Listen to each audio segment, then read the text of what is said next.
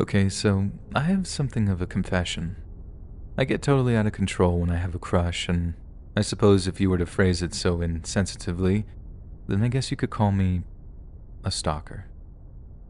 It probably took way longer than it should for me to realize it, too. Like I just figured I was, I don't know, intense, passionate, whatever you want to call it.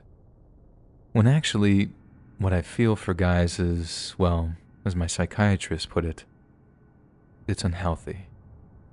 Whenever I have a crush on a guy, it builds and builds until it's almost completely out of control. Sure, I get the usual stuff at first butterflies in my tummy, that giddy euphoria people feel when their crush is around. But I get other things too. Like, there's a lot more, and some things that people might consider kind of scary too. When I like a guy, they're constantly on my mind. They're usually the first thing I think about when I wake up in the morning, and usually the last thing I think about before I sleep, too. I look up every social media account they have, and guys tend to be much less careful about their privacy settings, which makes that whole thing super easy. I make sure to see every single post, every comment, every friend, every photo they're in. I check their social media accounts usually more than four or five times a day. I also Google them online, hoping to stumble across anything new. For years, I told myself that I just liked knowing things about my crushes. Like, isn't that the point of loving someone? To know them as well as you know yourself? Well, again, according to my psychiatrist, not in quite the same way as I imagine. I track down where they live and spend way too long on Google Street View just admiring the place. I never go by or do anything, though. I never want the crush to know how obsessed I really am. That would be absolutely mortifying. My psychiatrist says this is how I know what I'm doing is wrong and why he knew we could make progress if I put my mind to it. I also tend to get real jealous. I try not to show it, but I have to admit that seeing them having fun with anyone that isn't me, it really tears me up inside.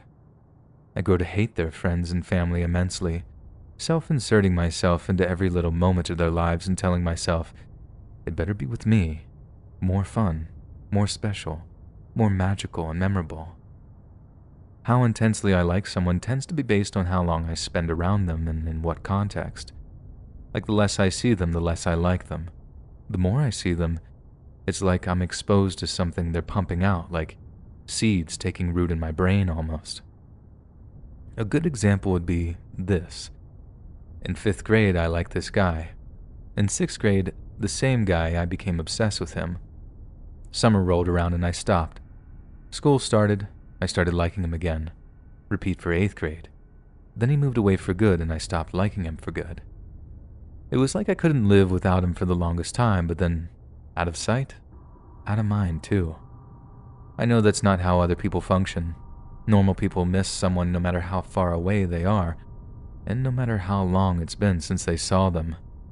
Not me, though, and I think that might be the only saving grace for some of these guys. I can't control my emotions even with the medication I'm given. It's one of the biggest challenges I face with my condition. If I didn't care so much about what I thought my crush thought of me, I would show up to his house and look in through the window, hoping to see him. I would pester all his friends to get every bit of info about him. I thank God sometimes that I've not gone too far, that I still have one foot grounded in reality even if the other is hovering over the abyss.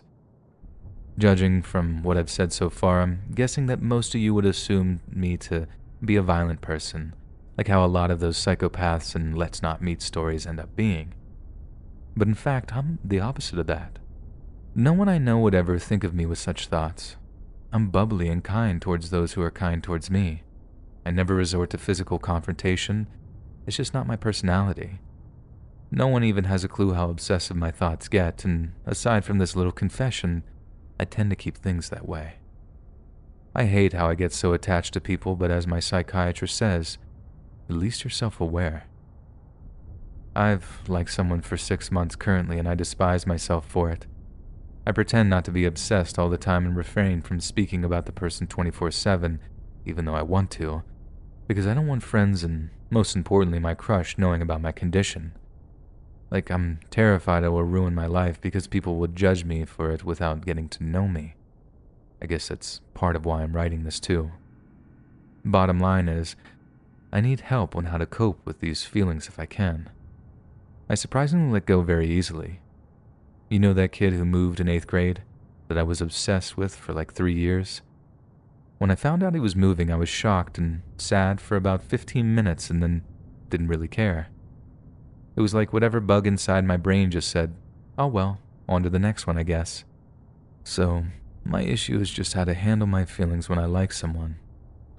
Keep in mind, this is just a light description of my issue. I felt a lot more than what I described here so far. I hope I get over my current crush over the summer and don't have any classes with him next year, since I would probably fall for him again. I rarely get crushes, but when I do, they better watch out. I've only had four crushes in total in my life so far, and three were part of my obsessions. Anyway, that's about it. I hope I could provide some insight into how female stalker types work because all that yandere stuff is just a bunch of bull. That's like a guy's projection, the ignorance of thinking that guys and girls think or act similar, when honestly, the reality is much more insidious and arguably much more terrifying.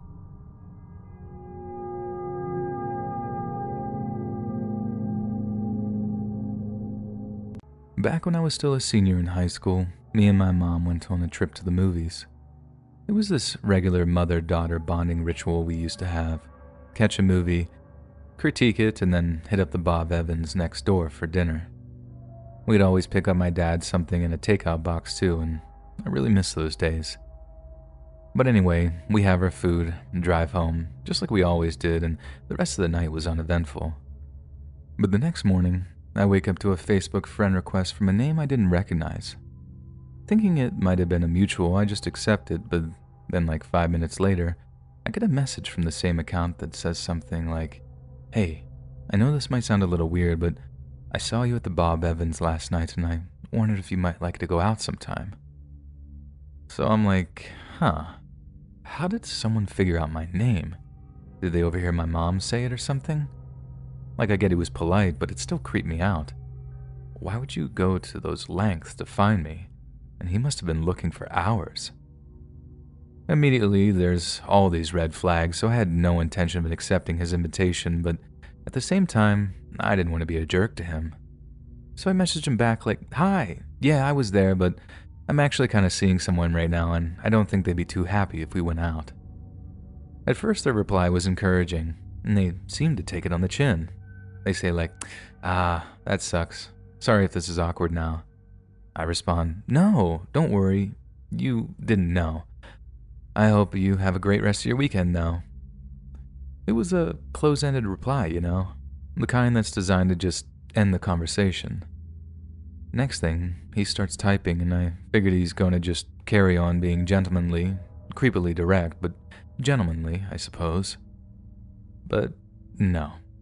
There's this very subtle shift in his tone when he says, I just figured, since I went to all this effort to find you, you might give me a chance. This is where I saw a kind of, well, opportunity.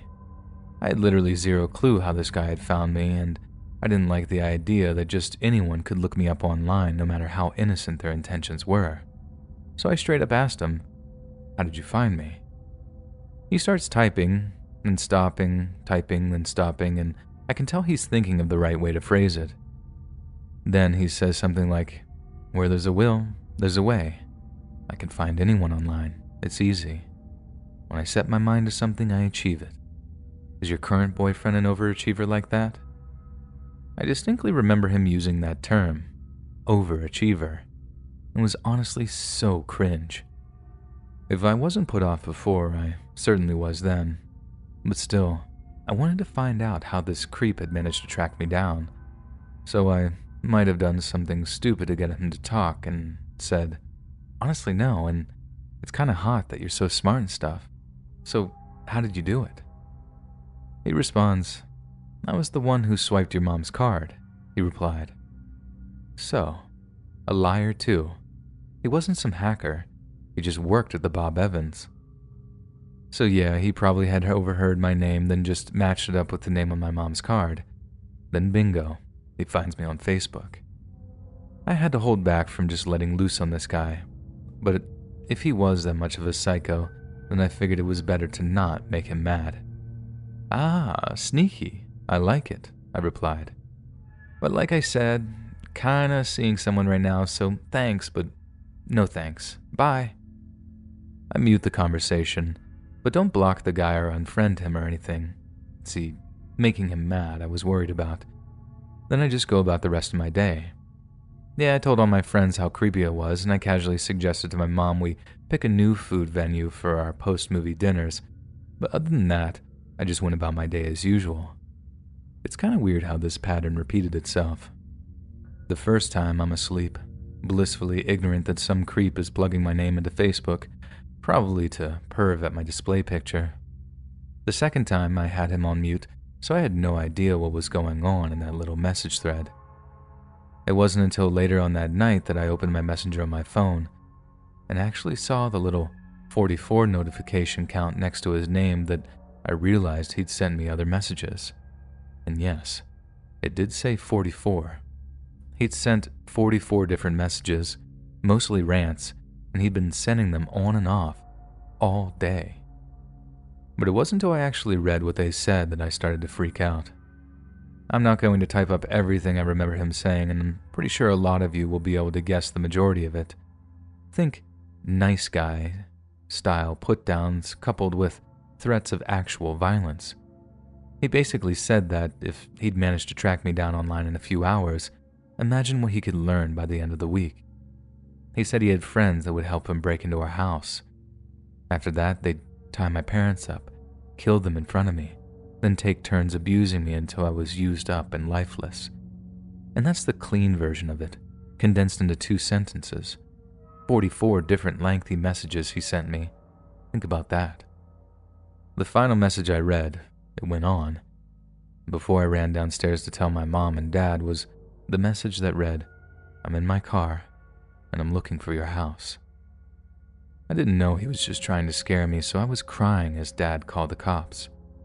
The guy ended up getting arrested for the threats he made, and I know he got fired from the Bob Evans because my mom kicked up a stink about it after the arrest. I never saw the guy again, so I'm thinking it was a case of his bark being louder than his bite. But I know that there are other women out there who aren't so lucky, and their stalkers are much more willing to get up close and personal.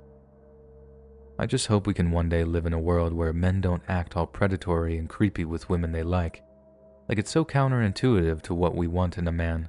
I wish they just understand that. But till then, I suppose all we can do is be safer online and with dating apps and hope we never run into that one sick psychopath that won't take no for an answer.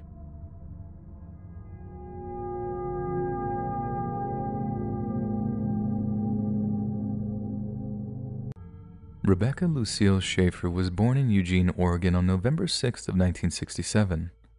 Her father, Dr. Benson Schaeffer, was a child psychologist, while her mother was a writer and instructor at the Portland Community College. Given how proud she was of her Jewish roots, a young Rebecca would dream of becoming a rabbi. But after a chance encounter with a modeling agent, she began modeling clothes during her junior year in high school. Rebecca would become a popular subject of many photographers and she made appearances in department store catalogs and television commercials, as well as an extra in a straight to TV movie. She was so successful that in August of 1984, her parents gave her permission to move to New York City to pursue a full time modeling career. At 5 foot 7, she was considered too short for high fashion modeling jobs and struggled to find work as a result. Rebecca even moved to Japan for a short stint in the hopes of finding work there, but found Japanese modeling standards were even stricter than back in the United States. Yet within just a few months of moving back to New York, Rebecca landed her first TV role playing Annie Barnes on ABC's One Life to Live. The following year, she appeared on the cover of Seventeen magazine, which caught the attention of television producers who were casting for a sitcom called My Sister Sam. Through a series of grueling auditions, Rebecca won the role of Patricia Russell and the series was initially a hit, but it was canceled halfway through its second season in 1988 due to falling ratings. Yet the role established Rebecca's acting career and earned her several other roles in a variety of different productions. However, the role also brought her to the attention of an extremely dangerous and unstable young man, one that would have an indelible and catastrophic impact on her life Robert John Bardo. The youngest of seven children, Bardo was the son of a non commissioned officer in the United States Air Force who had met his mother whilst deployed in Japan. Due to the nature of his father's occupation, the Bardo family moved frequently, eventually settling in Tucson, Arizona in 1983. And to say young Robert had a rough childhood would barely broach the issue. A young Robert was placed in foster care after abuse from one of his siblings got so bad that he threatened to take his own life. Couple that with the Bardo family's history of mental illness, and it's quite clear that he never really had a shot at an emotionally stable adulthood. By the age of 15, Bardo had been institutionalized to treat severe emotional problems, and it was around then that he was diagnosed with bipolar disorder. Shortly after, he dropped out of Pueblo Magnet High School and began working as a janitor at a Jack in the Box restaurant.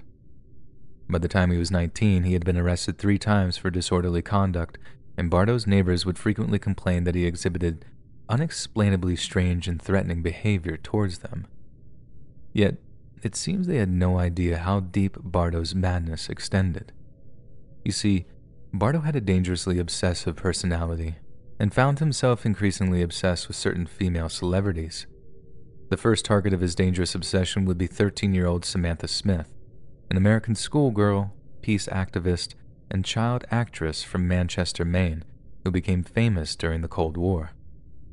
After her death on August 25th of 1985 in the Bar Harbor Airlines Flight 1808 plane crash, Bardo was devastated. But it was during a period of intense mourning that he discovered Rebecca Schaeffer while watching My Sister Sam. After writing Rebecca numerous letters confessing his love for her, Bardo attempted to gain access to the set of My Sister Sam but was turned away by security.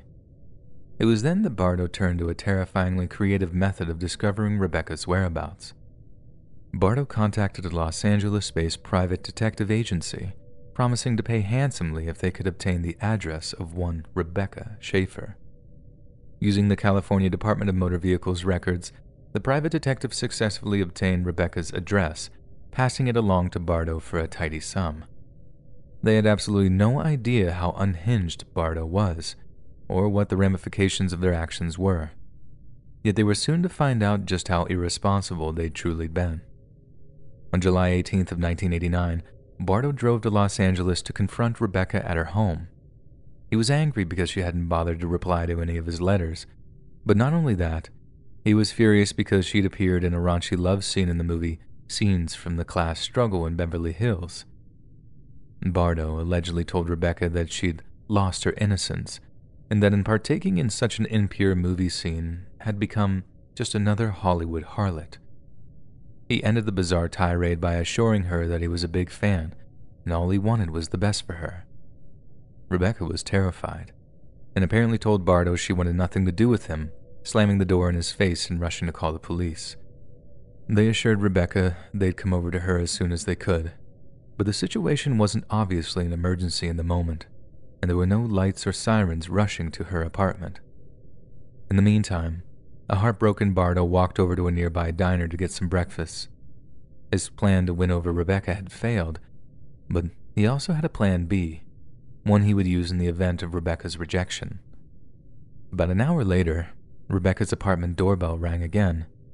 Assuming it was the cops, she rushed to answer the door, but when she opened it, the only person she saw standing before her was Robert Bardo. Robert then raised a Ruger 357 handgun and shot Rebecca through the heart. He then tossed a copy of Catcher in the Rye into her apartment and was later arrested in Tucson while wandering aimlessly through traffic. The following year, Robert tried to argue that he was criminally insane, but a judge dismissed the idea and labeled him a dangerously obsessive but otherwise mentally competent person. He was sentenced to life in prison without parole and is currently serving his sentence in California's Avenal State Prison. As a consequence of Bardo's actions and his methods of obtaining Schaeffer's address, the U.S. Congress passed the Driver's Privacy Protection Act, which prohibits state departments of motor vehicles from disclosing the home addresses of state residents. Rebecca's murder also prompted the first anti stalking state laws, including the California Penal Code 646.9, which was essentially the nation's first law against obsessive or fixated persons. It was a nice gesture, but few deny that they came too little, too late for Rebecca, who needed protecting from a dangerous, violent stalker long before there were any legal means to combat them. We can only hope these laws are direct and robust enough to stop the same thing from happening again. But given the determination of the human spirit, that seems like very wishful thinking indeed. This happened back when I used to get on Grindr, but it always reminds me of how glad I am that I'm no longer doing the online dating thing. For those unfamiliar with Grindr, it's a gay dating app that shows guys nearby. It makes you use your location while using the app, but it doesn't give your exact location unless you send it to the person directly. I got a message from a blank profile. No name, no pic, and no bio. The only thing that popped up was how close he was, less than a mile away. This happens a lot because there are a lot of closeted guys out there, especially back then. Being an overweight guy in the gay community, I had to take anything I could, because most gay guys in my community wouldn't even give me the time of day. He started off nice enough, introduced himself as Jesus, and asked how I was doing and all of that sort of small talk. He told me he was into chubbier guys, and after exchanging pics, we both agreed that we found the other one attractive.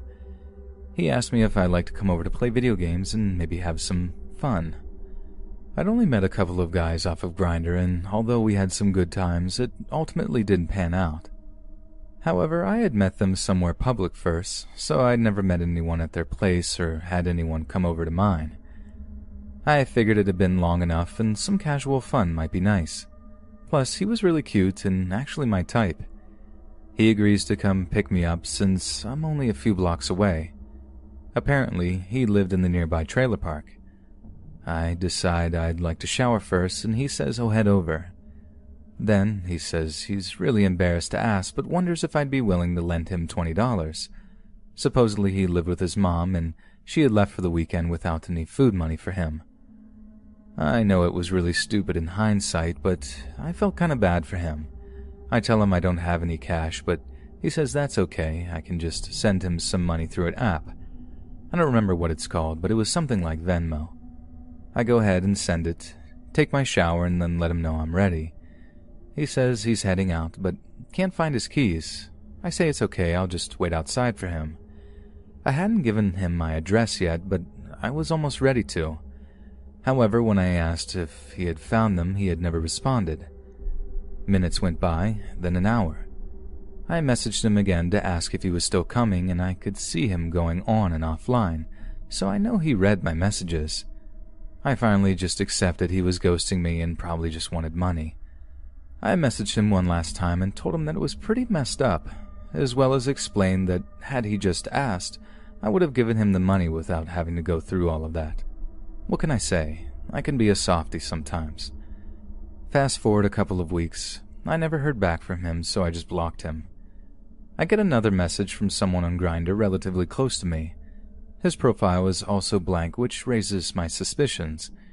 He tells me he's also into chubby guys, which really makes me suspicious because it's highly unlikely two chubby chasers live so close to me. We trade pics again, and it's a different guy. However, he suddenly asks for money again. In Grindr, you can create as many accounts as you'd like. All you need is an email address, there were tons of spam accounts on there that were automated. It was a real pain. Anyways, I call him out because I was like 95% sure it was Jesus.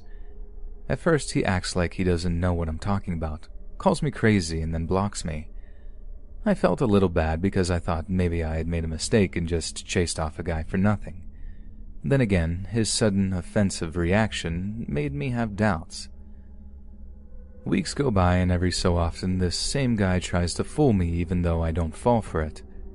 Eventually, I blow up on him and ask him what his problem is. We start going at it, and eventually he says, You won't say that to my face. I tell him that I would gladly tell him this in person, not that I expected him to actually show up this time.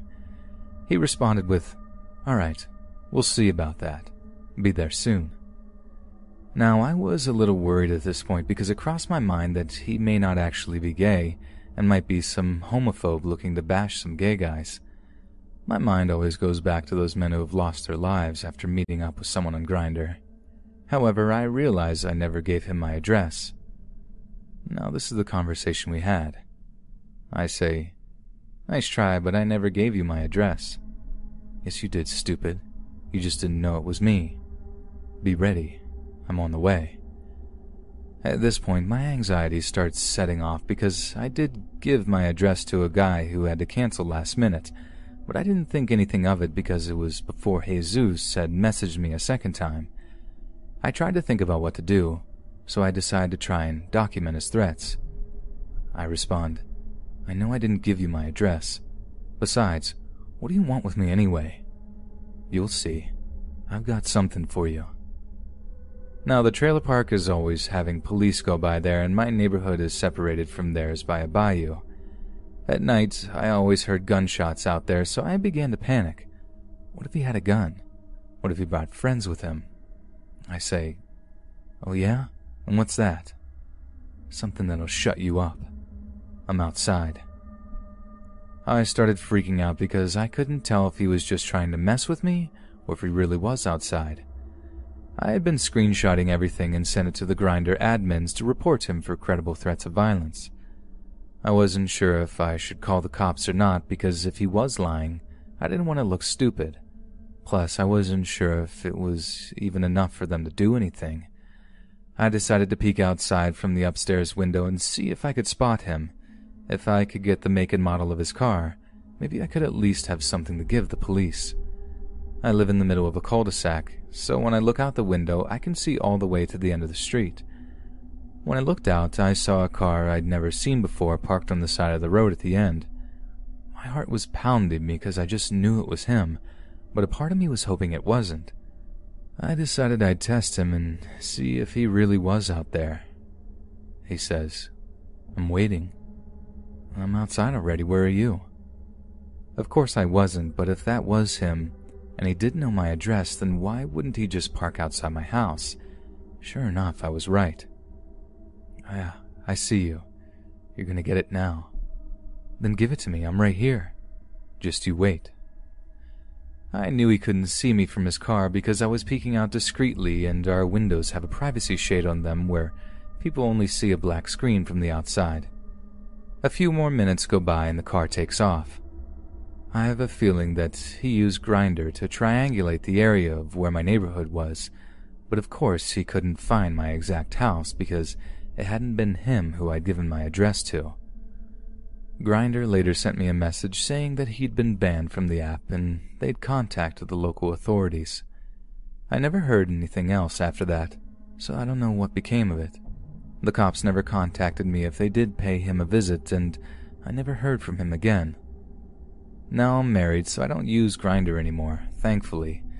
Still, it took a while before I was able to sleep soundly after that. I rarely left the house, and when I did, I always made sure his car wasn't around, anywhere.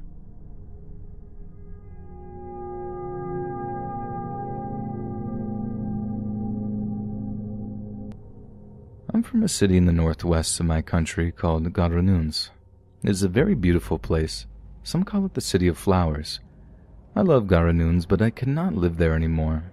There are too many bad memories for me, and people accuse me of something which I am innocent of.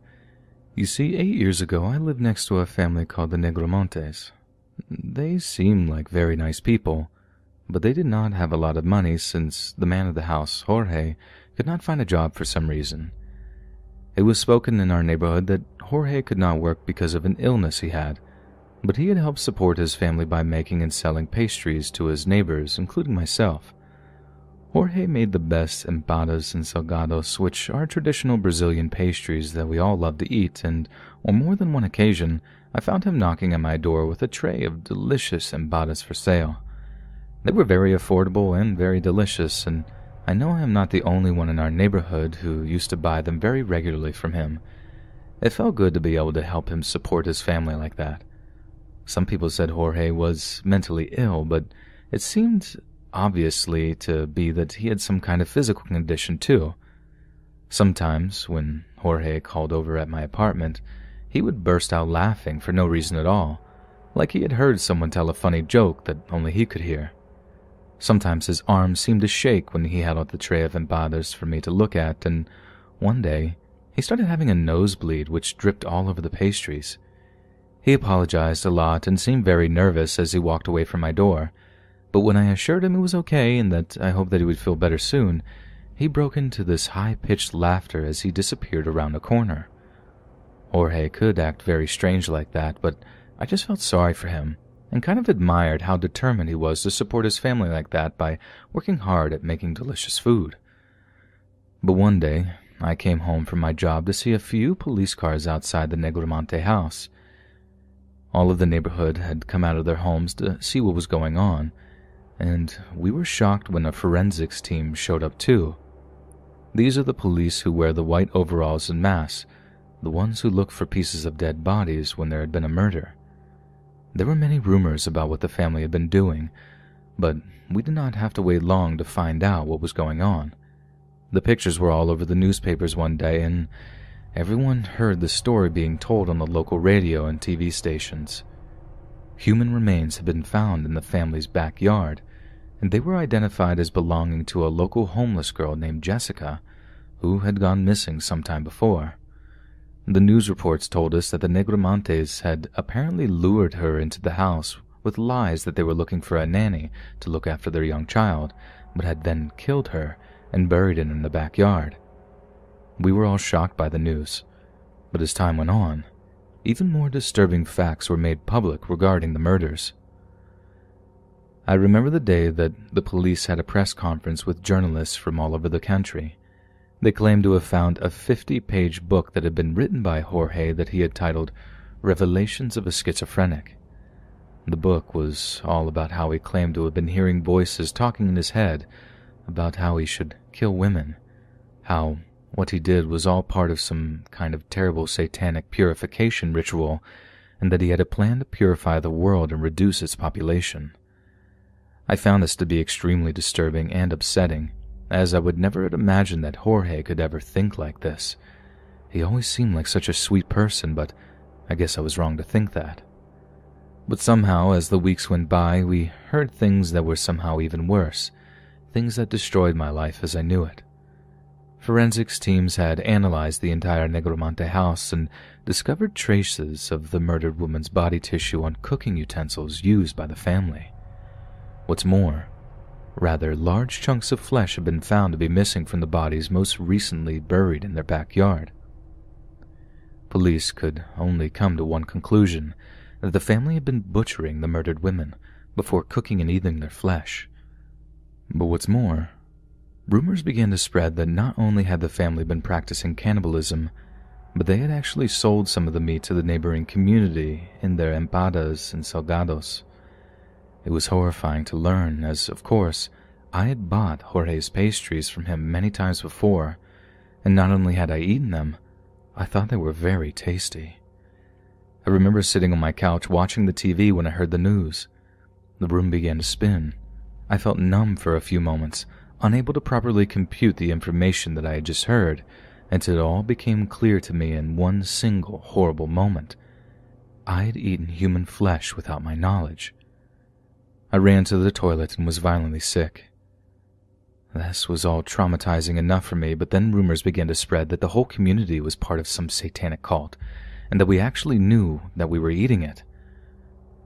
People from all over the city came to our neighborhood to harass the people living there, including myself. Despite our denials, they called us all cannibals and told us that we were no longer welcome to live in Garanhuns. I personally had a note posted through my door from someone anonymous telling me that I would be killed in revenge if I did not leave the city. I didn't want to risk my life, so I left for the coastal city very far away from Garanhuns, where I currently live alone. I don't eat meat anymore. I am purely vegetarian because the taste of meat brings back horrible memories for me and makes me instantly sick every time I taste it. So, Now you understand why I don't wish to give my name or give too much information as to where I live, as I'm afraid I'll be hunted by these people seeking vengeance for Jorge Negromonte's terrible crimes. But I swear to Jesus Christ I did not know what I was eating, and if I ever did, I would not have eaten it, and I would have reported Jorge to the police. So please, although you think you might know who your neighbors are, ask yourself, do I really know who I'm living next to? Do I really know what they're doing behind closed doors? Because for some of us, we don't know exactly who our neighbors are. Not until it's far too late.